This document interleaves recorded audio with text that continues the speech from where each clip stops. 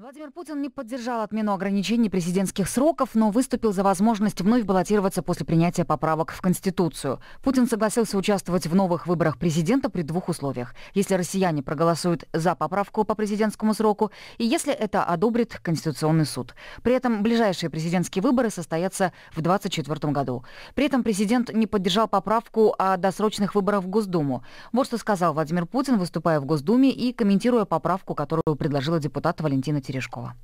Предложение, которое высказала Валентина Владимировна Терешкова, в принципе, тоже понятно. Первое. Исключить из Конституции количество сроков, на которые может избираться высшее должностное лицо страны, президент. Похожая, по сути, идея прозвучала на недавней моей встрече в Петербурге с гражданами. Там один из ветеранов как раз это именно и предложил. Я тогда сказал, что не хочется возвращаться ко временам Советского Союза. Не скрою, был некорректен, потому что во времена Советского Союза никаких выборов-то и не было. Там все решалось достаточно келейно, либо в результате внутрипартийных каких-то там процедур или интриг. Сейчас абсолютно другая ситуация ситуация. Сейчас нужно идти на выборы. Формально сегодня можно было бы отменить ограничения по срокам.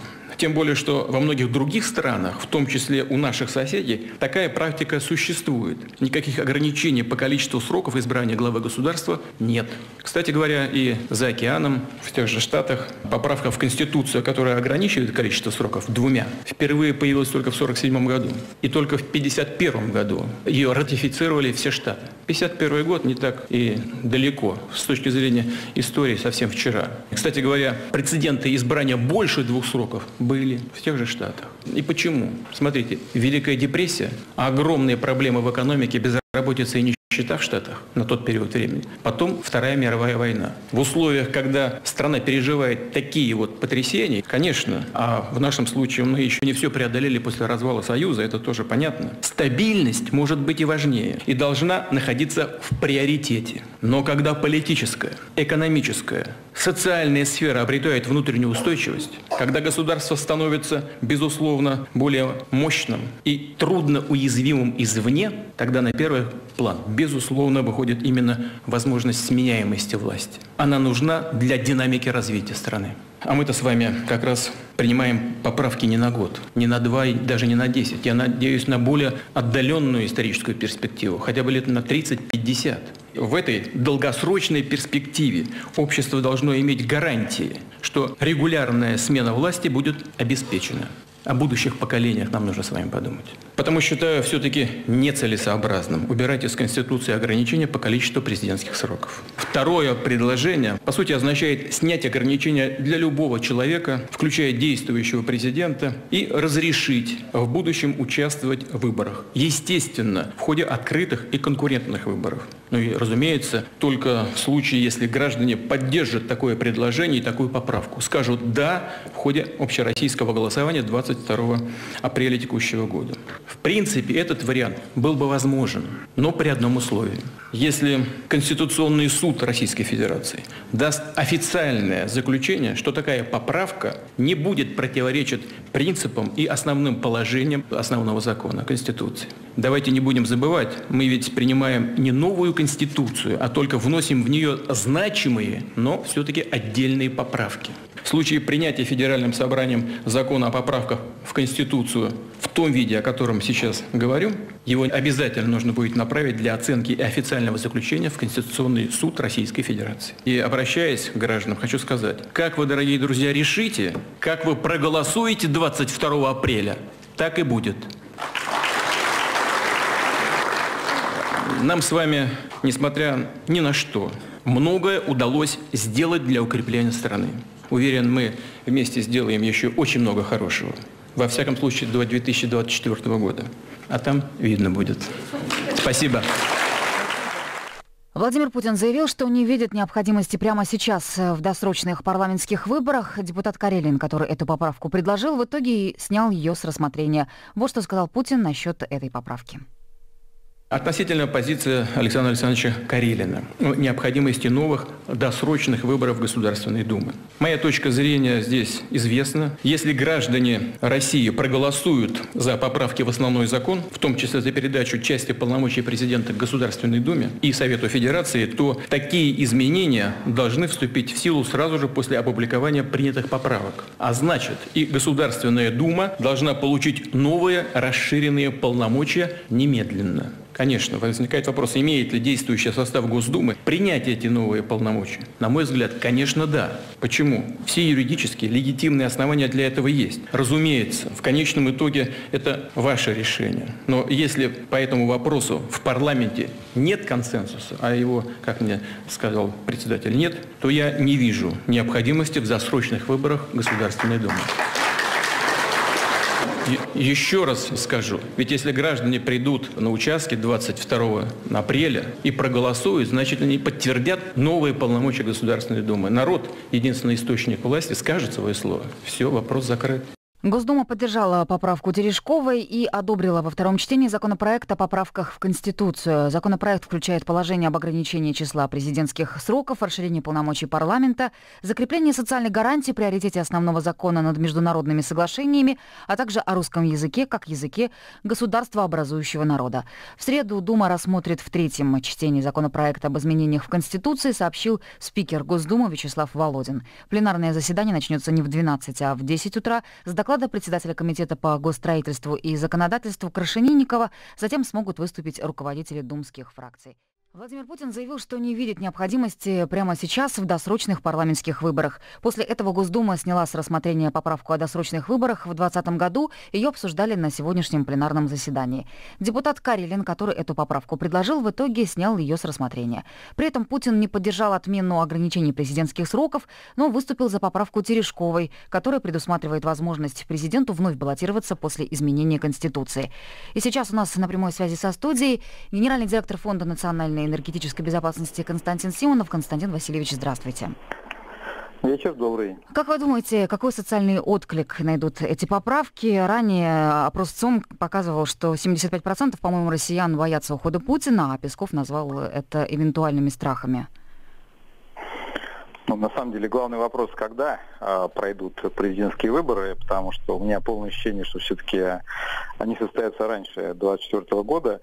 И, в принципе, Путин сейчас все более явной делает свою задумку, разъясняя нам. Вот сегодня, в принципе, возникла такая вероятность, что просто действительно будут обнулены его сроки, и он э, начнет с чистого листа и сможет снова баллотироваться в президенты в, я думаю, что не в 2024 году, а, возможно, раньше. Потому что ну, ничто не мешает потом сказать, ну давайте все-таки вот э, проведем выборы и спросим вот по новой конституции э, население согласно с э, тем, что Путин с чистого листа снова начинает свой президентский срок или нет. И вот мне, меня больше всего, конечно, пугает то, что решения становятся какими-то совсем как бы, простыми, да, потому что вот когда Путин 15 января выступил с посланием, ваша дистанция спрашивала меня, ну вот как теперь вы видите, какие серьезные политические изменения, конституционные изменения. Я наивно говорил о том, что я пока ничего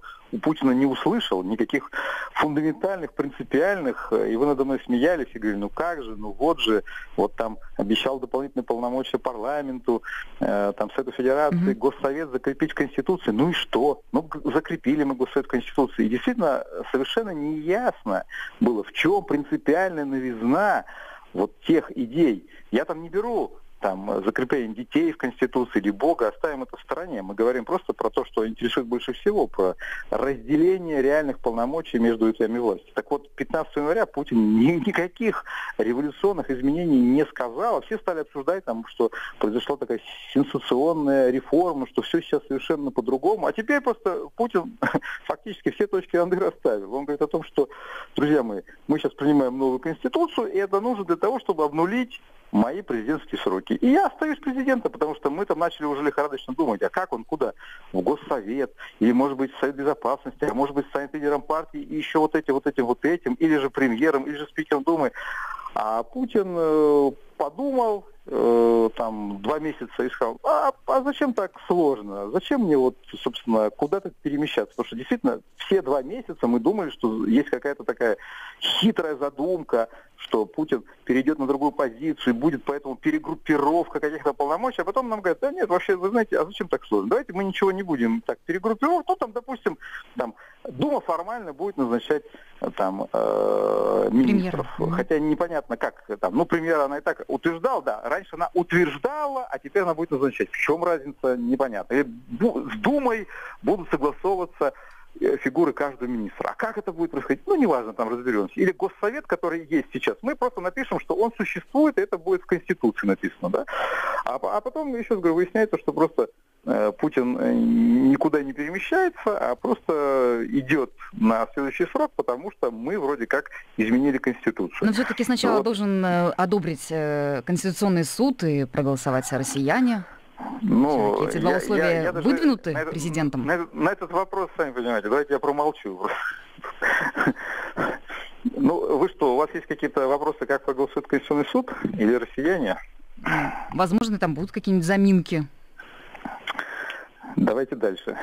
Потому что, ну, ну, очевидно, как проголосует Конституционный суд и как 22 апреля проголосуют россияне.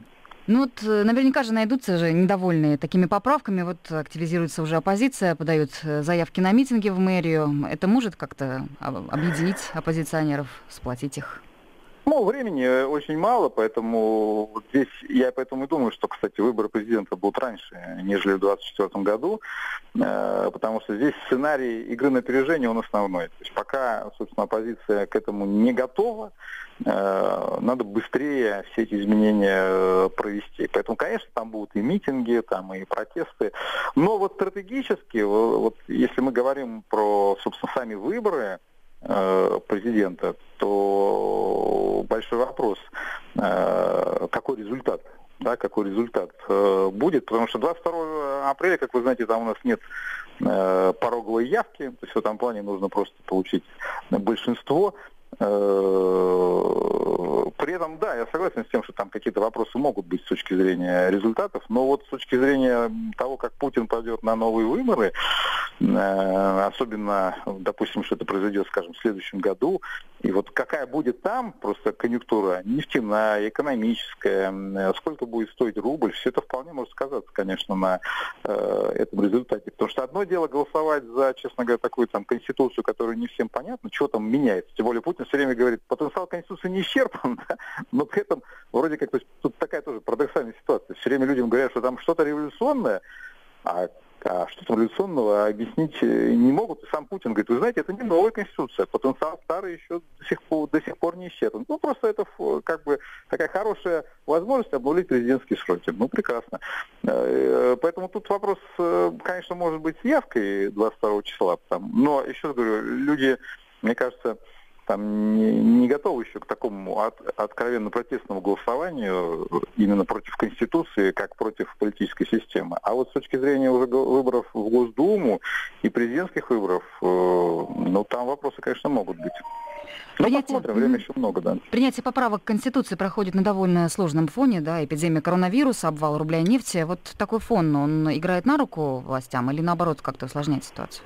Нет, ну на арку он, конечно, играть не может. Почему? Потому что, э, слушайте, когда у вас на там 30% обвалилась нефть, и все стоят на ушах, и рубль э, там, ну там сейчас, ладно, чуть полегче ситуация, 72, там был 75, но вы прекрасно понимаете, что это никак не способствует э, позитивному настрою и желанию голосовать за эту конституцию. Другое дело, что власть рассчитывает, что э, среднестатистический россиянин он за границу ездить не должен, и в потреблении акцент должен делать на отечественной продукции, и она, по идее, подорожать должна не так сильно с 22 апреля. Поэтому есть надежда, что пока все-таки удастся э, проскочить, что называется, пока вот, собственно, таких серьезных экономических изменений еще не будет. Тем более, что нас заверяют, что там резервы есть, ну уж до 22 апреля точно э, дотянут. Вот еще раз говорю, а вот при более длительных сценариях, когда мы говорим про осень следующего года, да, или 22 год, Э, вот там, конечно, уже вопросов будет э, гораздо больше. Поэтому, безусловно, ухудшение экономической ситуации не способствует желанию голосовать за Конституцию, но при этом пока не является для власти вот таким разрушающим, как, скажем, там, пенсионная реформа. Вот если бы пенсионную реформу сейчас там одобрили, я думаю, вот это было бы шоком настоящим. Но власть э, уроки извлекла значит, э, мат-капитал, горячее питание. То есть, в принципе, вы же знаете, что Конституция сопровождается довольно мощными социальными аргументами. Есть какая нервозность. Сейчас люди, конечно, так проснулись, типа, а денег точно хватит? Вроде как такое было успокоение, нет, точно, точно, точно. А сейчас раз цена упала, точно, точно. Он говорит, нет, ну, пока хватит, пока не волнуйтесь. И я думаю, что пока, скорее всего, все волноваться точно не будут. Вот, поэтому думаю, что пока все-таки ситуация еще контролируется властью. Спасибо. У нас на прямой связи со студией был генеральный директор Фонда национальной энергобезопасности Константин Симонов.